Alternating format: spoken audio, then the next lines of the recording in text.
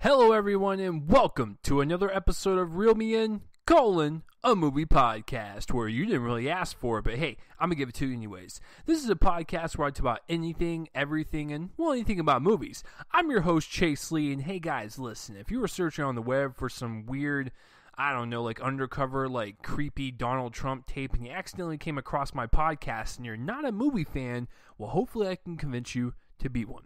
This is episode 151, guys. I, uh, if you are new to the show, welcome once again. What I do on this show is I will go over some movie news uh, and movie trailers that drop throughout the week. I will have my review of a specific film that comes out on the uh, the you know the weekend, and uh, of course box office results for the weekend. Uh, this week's gonna be a little different. Uh, I am recording this on a Thursday night, so you guys get three whole days early. How does that sound? Uh, applause, anyone? No, no one listens to this th- this fuck fest of a podcast. Oh, okay.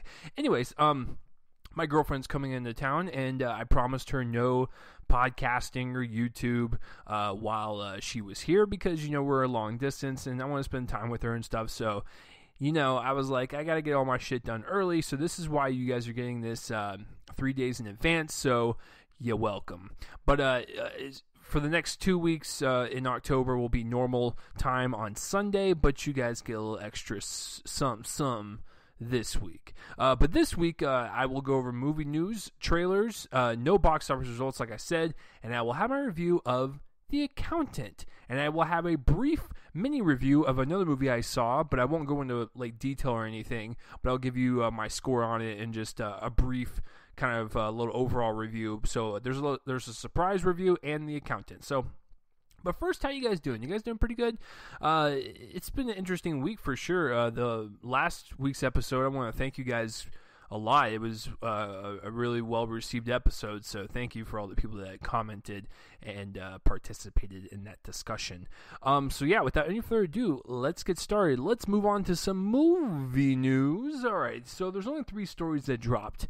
Um, this week. It was kind of a slow news week, and to be quite frank with you, it was quite, kind of a slow trailer week. Hollywood just decided to go fucking hibernate somewhere in the Himalayas and never be heard from again. So, uh, the first story I want to talk about is that Forest Whitaker, and this is all going to tie in because you know he's also in Rogue One, and that trailer just dropped, and I'll be talking about that as well. But Forest Whitaker, uh, the story is that he's going to join Black Panther.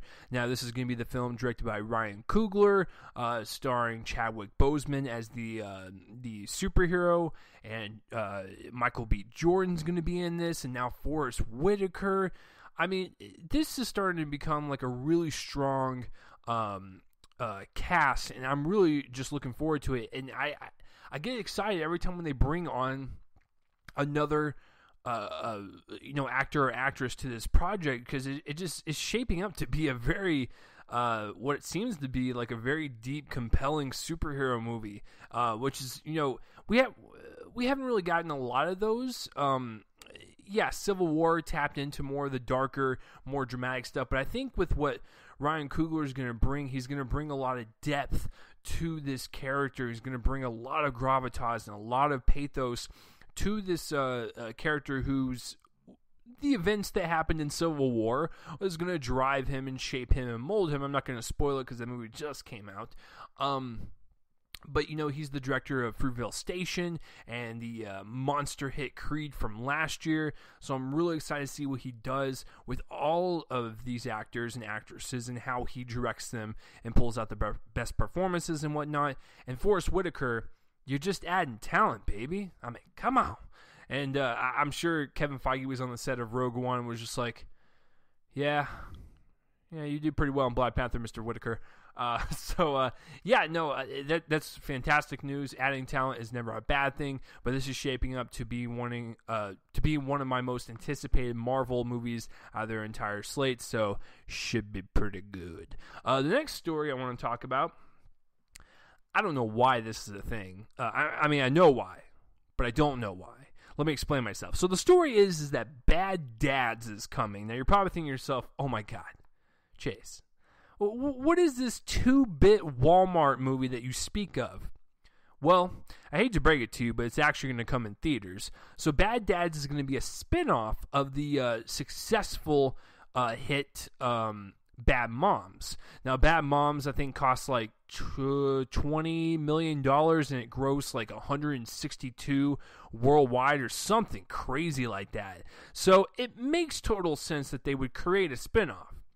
However, the appeal about bad moms was that they were housewives. They were, you know, single mothers. They were workaholics. They were something we hadn't really seen before with a, a female led movie, which is why uh, that's why it felt kind of fresh and stuff with all the the raunch that was going on in the film. When you do bad dads, that's pretty much just making like a hangover movie. So I don't I, I mean I get it makes money. You want to do some spinoffs. Good for you. Pat on the back. I'll give you a, a, gold medal afterwards. But just having having a spinoff called Bad Dads doesn't really get me impressed at all because Bad Moms was okay. It's not like it wasn't the best thing in the world, but out of all the comedies during the summer, it was pretty passable, I guess. Um, it definitely stood out amongst the crowd. But Bad Dads just it just seems like uh, desperation, um, milking that you know money cow udder as dry and hard as you can, so that way you can just squeeze everything out of this franchise that you can possibly get, and it just it just it, I don't know, it just sounds bad all around. To be honest with you, I, am not looking forward to it. But all the people that enjoyed Bad Moms, uh, that, that, that story is for you. Uh, maybe you'll see Bad Dads. Maybe it will be a surprise hit like Bad Moms. I have no clue, but just from on the surface, it just reeks of desperation and money grubbing, and um, doesn't really add anything new to anything. So, um, Bad Dads coming your way. Uh, and the last piece of news, which is probably the weirdest fucking piece of news this week, is that they're going to make a live action Aladdin. I, I know you're probably thinking to yourself, well, Chase, that's pretty fucking weird. No, that's not the weird story, but because uh, you know Disney's remaking all of their animated uh, movies. I mean, last week we talked about The Lion King, and you know Mulan's got a date in place. Beauty and the Beast is coming out, so you know they're gonna remake everything into a live action. Aladdin is on that docket. The story was is that Guy Ritchie is was or is or was in talks. I'm gonna say is because I think it was present. He is in talks to direct it. What? That is so fucking weird, man. And, and listen, I think Guy Ritchie Guy Ritchie is full of talent. I mean, if you look at movies like um, Snatch or Lock, Stock, and Two Smoking Barrels. It's just the guy is a really kind of unique filmmaker, creating these weird, eccentric uh, movies with really kind of um, colorful characters and just have such a fun vibe to them. They're so fastly paced and they're really well edited, and they just keep you entertained throughout the entire thing. Snatch I didn't know what to expect. I blind bought it and I was completely surprised. And I'm so glad I own it now because it is a fantastic uh, little film that he did. But I haven't really cared for the Sherlock Holmes movies, and I didn't see The Man from Uncle. But it looks like he's going to get another shot with this. I don't know what the hell this movie is going to look like now that he is in talks. Now, if he gets the gig, I mean. I don't. I I'm baffled. I honestly don't know what the hell that movie would look like. Um, but having Guy Ritchie on, if you want to think about some of the positives, because that's what the show is about. It's positivity, everyone. No negativity in this bitch. So, if Guy Ritchie is doing it, he's gonna add a certain amount of energy to Aladdin. I mean, Aladdin is a you know little thief, so um, it kind of bodes well with uh, all the characters that Guy Ritchie has played with in all of his movies in the past. So I don't know. Maybe he can inject some really kind of lively energy into it that it desperately needs. Maybe he went into that pitch meeting, he pitched it, and Disney was like, "Well, god damn, Guy Ritchie, this sounds fucking adorable." You're gonna you're gonna direct this movie, so I, I don't know. Maybe he had a great idea for it, but um, on the surface it's weird. But when you think about it, hey, Guy Ritchie's got a lot of talent I think he can inject some flavor into this uh, uh, property. So I'm down, I guess. I we'll see. I gotta see a trailer first. But uh, that's it for the news, guys. Kind of a slow news week, like I said. I apologize. Hollywood is uh, they just packed up shop and left. They just said fuck it, I'm done, and they just left. Um, and the two trailers that came out this two two fucking trailers, guys. Two trailers came out this week. Number one is directed by Larry Charles, and he directed Borat, Bruno, The Dictator. So basically, uh, Sacha Baron Cohen's uh, uh, movies. This one, Army of One, is about the real life story of a guy who uh, had a vision from God, and God basically told him that uh, he needed to go kill Osama bin Laden. Um, that sounds cool. But uh, the main character is actually played by Nicolas Cage, which you add some of that batshit insanity to um, a movie, especially with a real life character like that. It's it's like borderline almost perfect casting. So the trailer looks weird. It looks uh, very fun and just crazy. And I don't know. I'm I'm kind of looking forward to it. I'm I'm into some weird movies, guys. Uh, if you see my movie collection, I mean, hell, I mean, I can't think of any right off the bat, but I got some weird shit in there. I mean, I think Alvin and the Chipmunks is in there somewhere, and I I might that might be a guilty pleasure. But you know, it, it, for this one, Nicolas Cage to me he is definitely a hit and miss. There's no doubt about that. I mean, he's in so many bad movies that are so bad it's good. It you almost can forgive the guy because at least they're entertaining and they don't you know they they can um, occupy your time on a drunk Saturday night while you're in your boxers. So I mean, I get it. I get his appeal. And when he does movies like Adaptation, or I hear he's very good in um uh oh shit, Bad Lieutenant. All these like great uh, roles I've I've heard that he's been in, it just kind of shows you that uh, Joe. There you go. That's what I was thinking of. Joe with Tye Sheridan. You know he's got the chops. It's just you know when you lose a lot of money, you gotta pretty much take what you can get, and that's pretty much what he had to do. So uh, he's been kind of on a, a a bumpy road the past five years. Had some good ones and some very bad ones, but with this one, I think him playing like a real life character um, that was uh, just as crazy because you know he had a vision to go kill uh, Osama. Um, I think it's like a perfect match. So it looks crazy. It looks like it's got like that Borat kind of touch to it. So I'm down, I guess. So uh, it looks fun. Um, and the last trailer, and the one that you guys want me to talk about because I have no fucking clue why. I told you guys I'm not a Star Wars fan, but I will continue to watch these trailers because I'm dedicated to you guys. So, Rogue One, a Star Wars story, uh, just released their final trailer this morning.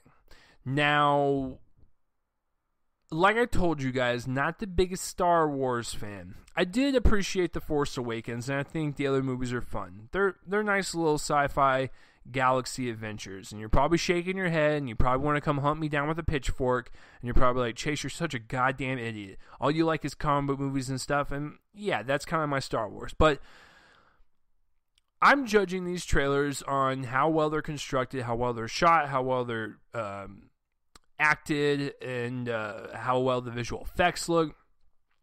And I gotta tell you, this final trailer from Rogue One, a Star Wars story, is pretty dope. I'm not gonna lie. It's it's visually beautiful, guys. Like, uh, listen, I own A New Hope, and I've seen Empire, and I've seen Return, and I've seen the prequels, and I've seen Force Awakens.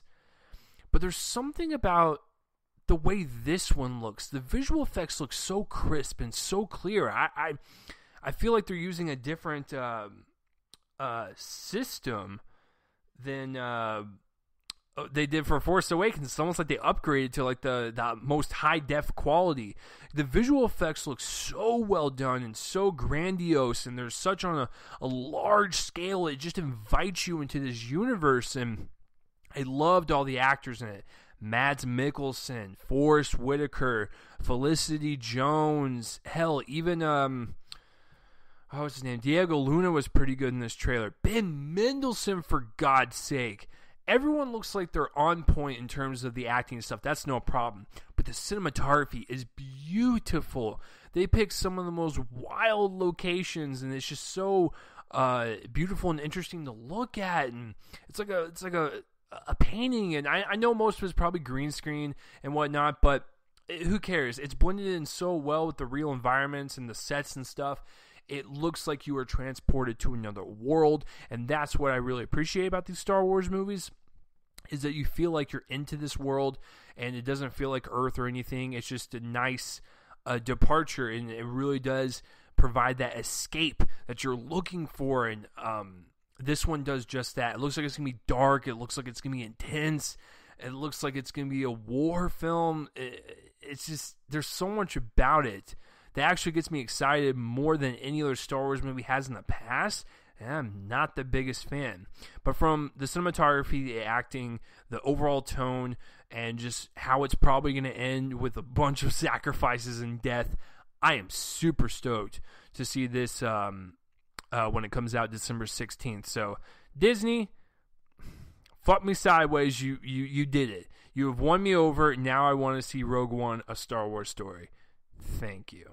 So that will do it for the trailers, guys. Kind of a slow trailer week. Um, yeah, so what was your favorite news story or trailer that came out? Comment in the place that's right below my face and let me know. So let's move on to the main course, guys. This is going to be a short episode. I'm telling you, there was literally cherry picking, cherry picking, guys, from stories and trailers. It was just that slow. But let's get into the main course of the show, which is the accountant. And, uh, you know, when I saw the trailers to this movie, I was really looking forward to it. Ben Affleck, Anna Kendrick, Jon Bernthal, John Lithgow, uh, Jeffrey uh, Tambor, um, J.K. Simmons, Statcast, directed by Gavin O'Connor, who did Miracle, which I did see, really like it. Great Kurt Russell film about um, uh, when the U.S. and Russia uh, fought on the uh, hockey rinks. And then uh, he also did Warrior. I never saw Warrior, but I've heard a lot of great things about it. So, and Gavin O'Connor also had something come out earlier this year, and Jane Got a Gun. Um, that one kind of flopped. But the trailer came out for this. It looked interesting. It looked like it was going to really be a character piece on Ben Affleck's character, have some great action moments, be kind of a cat and mouse game. And was that? I would say so. It was pretty fun. Um, yeah, so without any further ado, let's get real and break down the account. So let's start with the writing and directing. In terms of the writing, this the actual story one is non-linear. There's a lot of stuff that keeps hopping around all over the place, and you don't really know what uh, time frame it is, and uh, that kind of adds to the fun of it. Because here's the deal. I don't mind linear films that tell a story from beginning to end act 1 2 and 3 very standard. But it's nice every once in a while to sit down and be thrown a curveball and have something play out of order and you're you're the scenes are are really good and they're compelling and you're trying to figure out like where the hell is this place in the story um so yeah, I, I like that aspect. I know a lot of people are not really digging the whole nonlinear aspect of the film, but I really enjoyed it, and it kind of kept me more interested in the story and the plot as it progressed.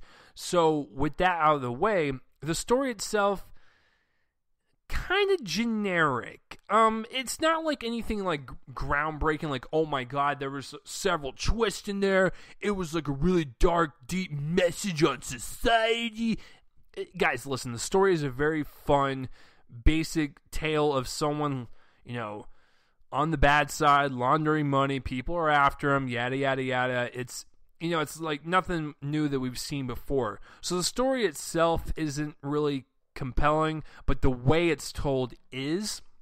And that could be from a director standpoint. So going into the directing, um, I thought for the most part, Gavin O'Connor did a very good job, really kind of setting up this character that Ben Affleck is, uh, which is a character that has a high functioning form of autism.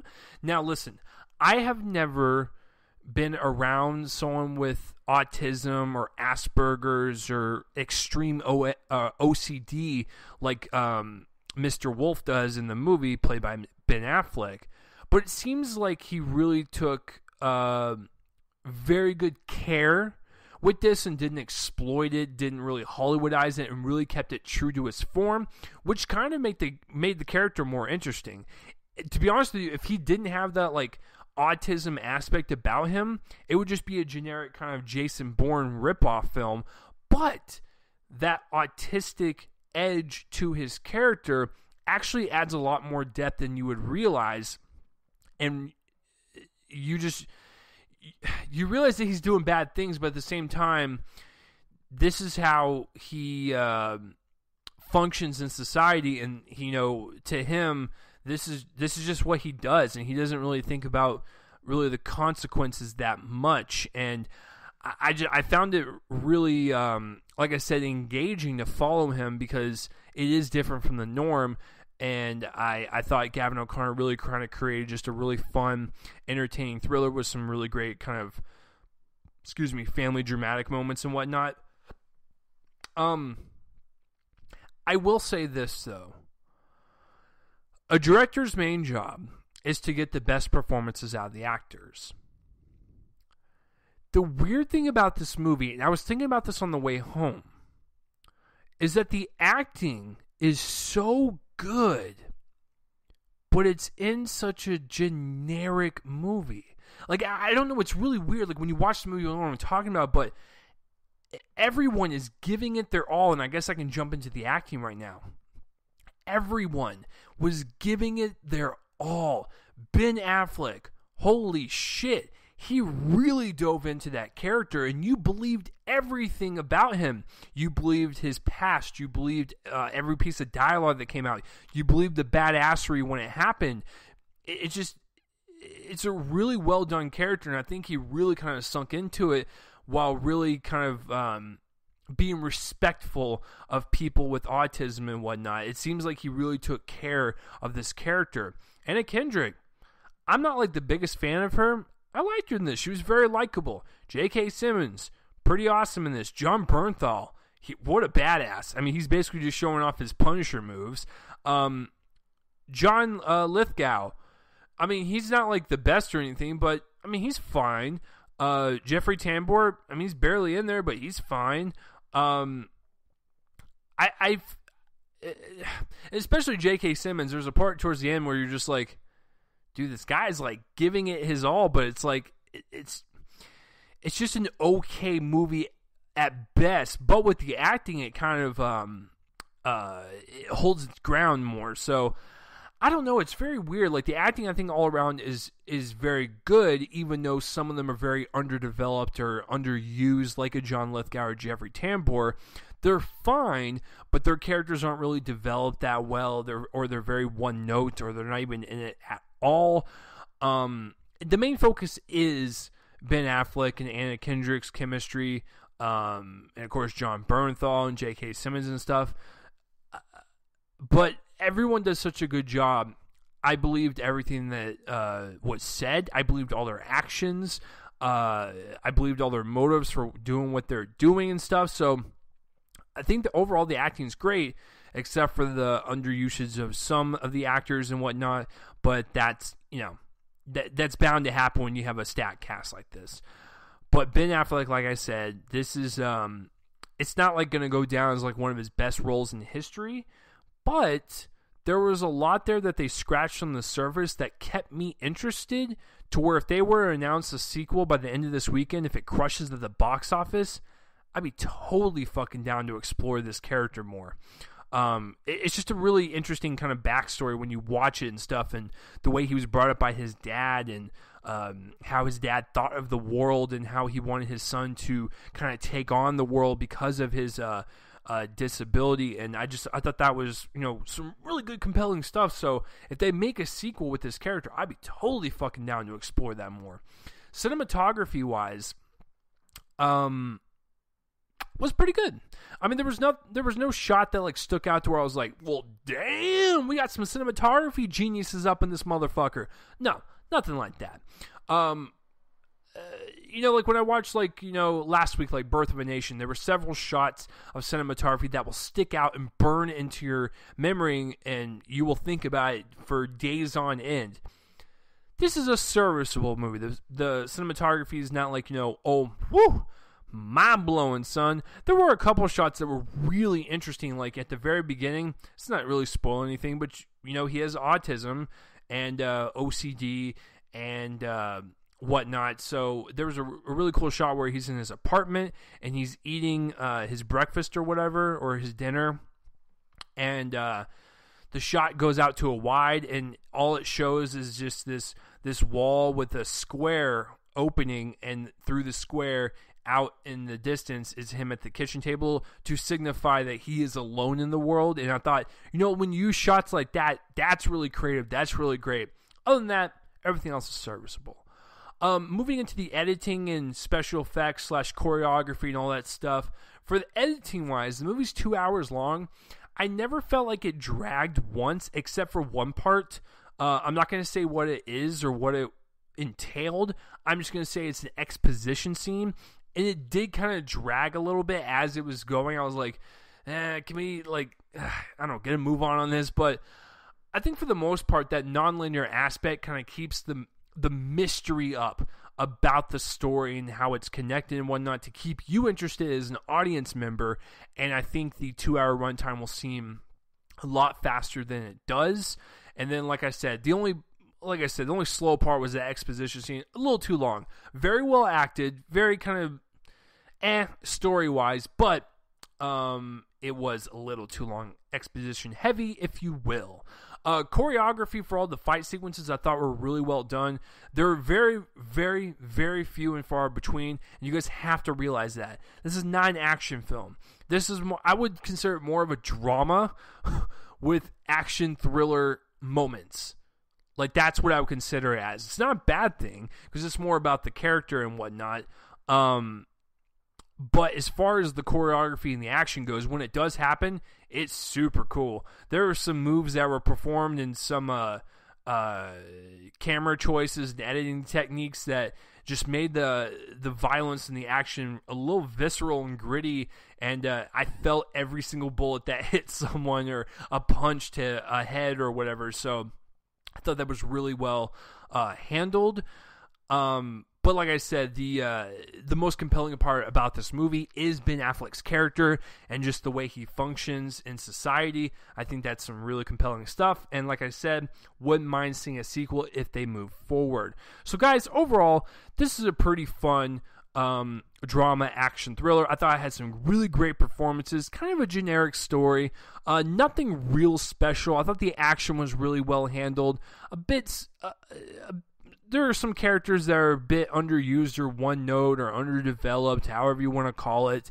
And there are a couple, I forgot to mention, but there are a couple, you know, plot elements in this that aren't really explored, you know, as much as you would hope it would be. But I don't know, maybe they'll realize their mistake and do it better for the sequel. I have no clue, but I mean that should always be the rule of thumb. Like, don't make a movie and just expect uh, to answer everything in the sequels. It's okay to leave some off the table, but when you're throwing like a bunch of uh, little stuff at you in the the first movie doesn't really get solved or whatever, it just it kind of feels a little lazy. But uh, I think overall, this is a fun, entertaining film great performances, great care on uh, uh, the autism uh, aspect of it. So I thought overall, you should probably see this in a theater. Um, I, I, would say matinee, maybe not really full price. But if you were anxious to see it and anxious to see Ben Affleck kind of continue after his uh, Batman appearance, because hell, that that was the one this year that put him back on the map in a bigger way than ever before. So this is the first one that we get to put under a microscope and examine to see if he can actually uh, continue to carry on these great performances even after the iconic one that is Bruce Wayne. Oh, and a side note, it was really cool to see J.K. Simmons and Ben Affleck interact because J.K. Simmons is Commissioner Gordon uh, in the Batman and Justice League films. So, my grade overall for the accountant guys I was battling on this. I think okay, I think I, I'm good. I'm a, I'm settled on the accountant. I'm gonna give a B minus. Like I said, I would have given it a solid B, but just some of the characters and the ge- the generic nature and whatnot, um, and some of the plot points that just didn't really go anywhere uh, and whatnot. Uh, that's why I had to drop it. Um, other than that, I would have given it a B. But I think a B minus is still pretty good for this film. B minus B, uh, shit, guys. This is literally the the closest I've ever recorded an episode after a viewing. Um, so I'm still debating myself, but I'm recording this live. I gotta tell you guys a score. I think I'll stick with my B minus. I think it's um, it's good. It's solid. So there you go. So, have you guys seen the Accountant have you even heard of it? Comment that place roll my face and let me know. Um, like I said, I'm not doing box office results this weekend. However, I could guess the top five, and if you're listening to this um, um, on Sunday or after Sunday, and I'm wrong, then you can laugh about it. Tell your friends that you you just met the biggest jackass on the the internet. I don't. I don't know. This is really tough. I think the Accountant will be number one. Know, probably hit about 30, 35. I think number two will be the girl on the train. I think number three will be um, number three will probably be Miss Peregrine's Home for Peculiar Children, uh, Young X Men, Tim Burton uh, extravaganza film. Um, number four, I'd probably go Deepwater Horizon. Number five, unfortunately, Birth of a Nation is probably not going to be in there. Um, number five, number five, number five. Probably Storks, maybe. Yeah, I'm gonna go with that. So that's my prediction, guys. It's pretty shitty. So there you go. Uh, next week, guys. Uh, well, that will do it for uh, this week's episode. Uh, but for next week, for episode 152, um, for the next two weeks, I'm not going to be reviewing new releases because guess what? All of them suck. They look like they're going to suck a huge pile of dicks. So um, I'm going to be doing uh, two special episodes. Still have the movie news and the trailers and whatnot, but for the main topic uh, for next week, I'm going to be doing horror comedies. The best horror comedies, some of the worst horror comedies, just horror comedies in general, uh, because fuck, Madea's Boo Halloween special fucking shit thing is coming out next week, and so I figure I just honor the horror comedies and film. And then the last weekend in October, I am not seeing Inferno because I did not care for Angels and Demons or Da Vinci Code that much. So you guys are shit out of luck that week. I'm kidding. For the last week in October, um, I for sure have a guest. Um, keep it keep it a surprise for you guys. But the last weekend is going to be uh, the best uh, horror films to watch on Halloween. So the ba- basically the best movies to watch on Halloween. So uh, yeah, that will be the last week in October, and then uh, moving on to uh, November. So the next two weeks, no new releases, guys, because they all look like garbage. So, but I will still give you guys episodes. So, guys, I want to thank you for uh, listening. This is a very short episode this week. I know, I apologize, but it kind of makes up for it because last week was damn near three hours. So, I figure I'd give you a shorter one this week. You know, it balances out a little bit, balances out the universes, and we're all calm now. So, if you guys want to follow me on Twitter, it's at Reel Chase Lee. Uh, subscribe to my YouTube page. Follow me on Spreaker. Subscribe on iTunes. Write a review. Tell your friends. Spread it around. I'm also on iHeartRadio and SoundCloud. Listen, guys, I, I know I say this every week, but you guys are really uh, the reason I keep this going. All the listeners out there, you guys are so fucking awesome. P- please keep doing what you're doing and spread this podcast around and let people know about it if they can stomach a raunchy douchebag on the internet. So, um, yeah, next week 152 horror comedies. And hey, listen, if you made it through this entire podcast and you are not a movie fan, well, hopefully I convinced you to be one. The intro and outro music is done by my friend's band Fervent Roze. Check them out. Link in the description below. All the links are in the description below. And speaking of that music, peace out, everyone. See you next week.